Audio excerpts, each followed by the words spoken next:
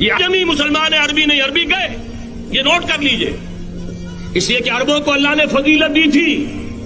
मोहम्मद उनमें से थे, सल्लल्लाहु अलैहि वसल्लम। ये रुतबा बलंद बिला जिनको मिल गया। लेकिन साथ ही अल्लाह ने धमकी भी दे दी थी सूरह मोहम्मद में। इन ततवल्लो कौमन गैरकुम। अगर तुम पीठ दिखा दोगे उस मिशन को जो हमने तुम्हारे हवाले किया है, तुम्हें हटाएँगे, किसी और को ले आएँगे। और ये बात हो चुकी है तेरहवीं सदी ईस्वी में, बारह सौ अट्ठावन में, जब सकूत बगदाद हुआ है, अरबों के हाथ से आलम क्यादत छीन ली गई। माजूर कर दिया।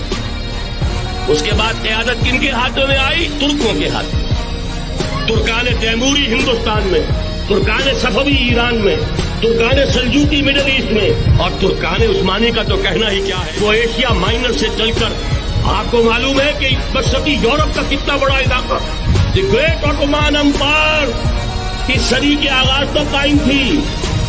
इस सदी में अजीब अजीब मौजे हुए हैं। ग्रेट ऑटोमान अम्पायर जो तीन बर्रे आजमों पर मोहित, नामो निशान खत्म।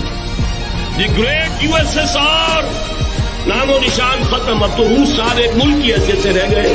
ये इस सदी में दो दो और वक्त नहीं है, मैं और आपको क्या बताऊँ। इस सदी में तो बड़े बड़े अजीब आजूबे हुए हैं। बड़ी बड़ी दो अजीम जंगें हो चुकी है। तीसरी जो है, सर पर खड़ी है, दूर नहीं है। जिसको हदीस में कहा गया है, अलमलहमतुल उस्मा तारीख इंसानी की अजीम तरीन जंग। और वही सलीबी जंग, जिसका आगाज़ बॉस्निया से हो चुका है।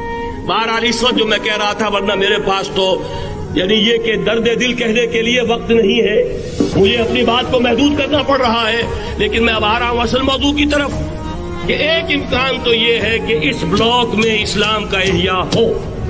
और इसके लिए कुछ नवीने भी मौजूद हैं अहादीस नबिया में। वो तो आपने सुना होगा इकबाल का शेर, मीरे अरब को आई ठंडी हवा जहाँ से मेरा वतन वही है, मेरा वतन वही है।